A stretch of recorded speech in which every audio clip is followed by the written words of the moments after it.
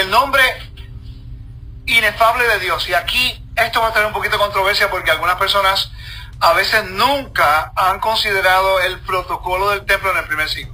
Y quiero hacer una salvedad antes de entrar aquí. Yo no estoy diciendo que el nombre del Eterno pronunciarlo no es importante. Pero hay un protocolo de santidad porque el nombre es Kadosh. Y a mí lo que me, da preocupación es que muchas personas en el, en el deseo de promover el nombre de Jorge Babhe lo tienen ahora como un nombre común. Lo utilizan para todo, de tal forma que se convierte en un nombre común. Me gustaría compartir con ustedes lo que, lo que ocurría en el templo y cómo se hacía y cuál era el respeto por el nombre en el templo. De ahí en adelante usted tiene que tomar una decisión de cómo va a respetar el nombre sagrado, Kadosh. Hay un protocolo. Recuérdate que el templo es lo que es lo que nos enseña a nosotros, a nosotros como pueblo, cómo venir delante del Eterno y cómo manejarnos en una forma que se deleite Él.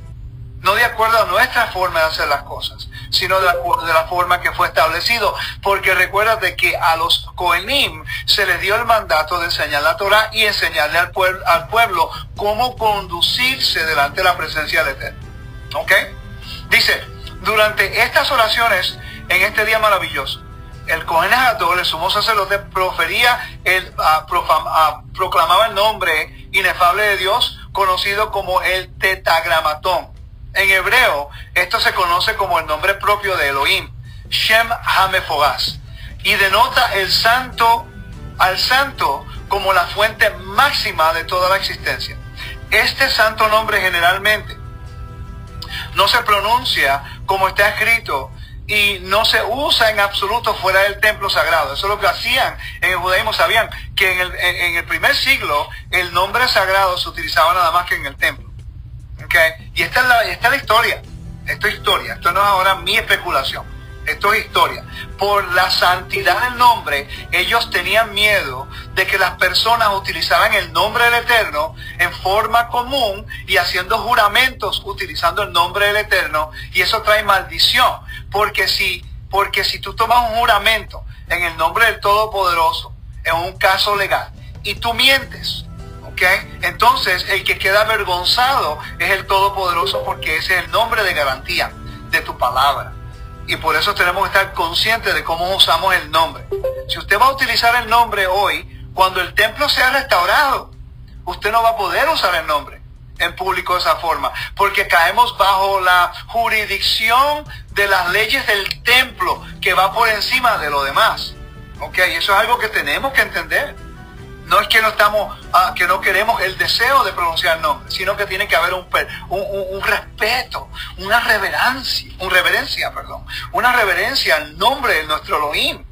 Dice, este santo nombre generalmente no se pronunciaba como está escrito y no se usa en absoluto fuera del templo sagrado. Incluso en el templo se usa con poca frecuencia. Durante el transcurso de los servicios en el día de expiación, el sumo sacerdote tendrá ocasión de pronunciarlo diez veces. En el día de expiación nada más. Ahora, ahora te voy a dar la, lo que leía anteriormente es como el judaísmo piensa acerca del nombre fuera de lo de diez veces, porque ya es el procedimiento del templo. Ahora, el judaísmo moderno se va a un extremo. En vez de decir Elohim, dice Elohim. En otras palabras, está hablando del nombre Yod Yahweh que el nombre del Eterno, pero ellos se han ido al extremo de usar otros nombres que son los atributos como Elohim, Adonai, El Shaddai y le cambian la pronunciación. Como lo hacen, como lo vemos aquí en la pantalla, como dice Dios, ellos tienen tanto respeto al nombre que la palabra Dios en español le ponen la D, la I, una, una rayita y después la S para no pronunciar. Pero en realidad la palabra Dios es un título. Estamos hablando del nombre Yor He He. ¿Ok? Ok, entonces la palabra Adonai lo que significa es mi amo.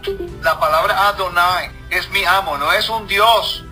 Eso es lo que allá, decían que los dioses sí eran sus amos, pero la palabra Adonai lo que representa el atributo de Dios como mi amo. Es el nombre Yoreba. Ok, continuamos. Mira cómo las personas respondían a cuando escuchaban el nombre sagrado en el día o en el templo o en el día de expiación. ¿Ok?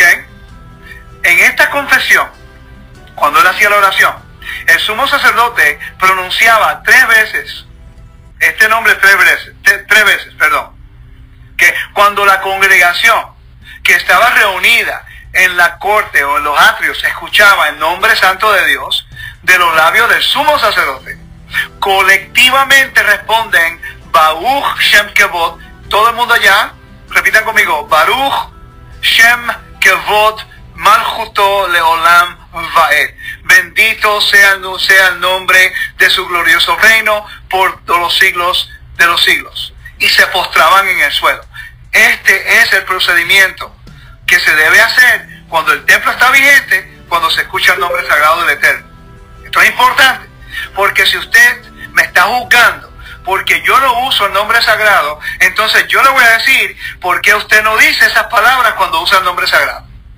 Tenemos que educarnos en esto para no causar una piedra de tropiezo, porque los judíos nos están escuchando, los judíos nos están oyendo. Y ellos, ellos entienden el procedimiento de esto. La legalidad del nombre Kadosh tiene un nivel de santidad. Ahora, en la congregación donde yo voy, que es más litúrgico, cuando hacemos la liturgia y, hacer, y pronunciamos el nombre en Shabbat, decimos Baushem Kevod Majuto Leolam Es para rendirle el honor. ¿De dónde proviene eso? Esta respuesta se basa en el verso de la canción de Moisés, Deuteronomio capítulo 32, versículo 3. Cuando invocaré el nombre del Señor, dale grandeza a nuestro Dios. De ahí es donde del templo se sacó la respuesta cada vez que escuchan el nombre. Los sabios explican que esto significa que Moisés le dijo a Israel, cada vez que se menciona el nombre santo debes atribuir grandeza a nuestro Dios.